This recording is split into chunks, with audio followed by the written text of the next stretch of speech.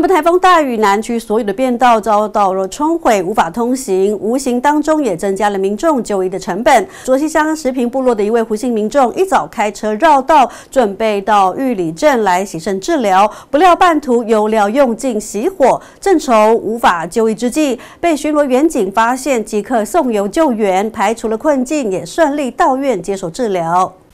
风雨中巡逻的远景行经卓富大桥桥头，瞥见这部停靠路边的白色轿车，车主一脸心急忧苦，于是赶紧下车询问。车主表示要赶着去玉里洗肾治疗，却不知车子没油。远景二话不说，立刻伸出援手救援。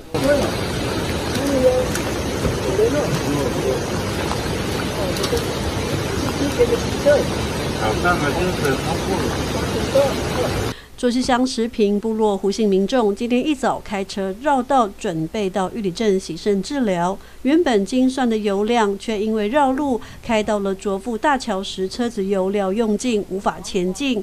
胡姓民众正苦恼之际，所幸被巡逻员警发现。不一会儿的功夫，员警就提着一桶油来帮胡姓民众的车子加油，顺利排除困境。胡姓民众也频频致谢。只是还是有油啊，不好意思，刚刚不是对的，给我。是一位民众要到玉里镇上洗肾，因台风影响，便道都无法通行，只能不断绕路，最后因汽油不够，困在卓富大桥南端。本所立即前往购买汽油，协助该车辆发动，让该民在台风天能顺利前往医院洗肾。在远景帮忙加油之下，胡姓民众得以准时到院洗肾。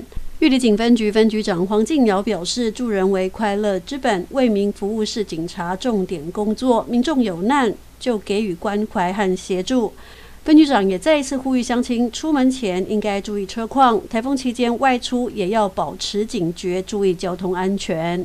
记者张敏泰、石玉兰、卓西采访报道。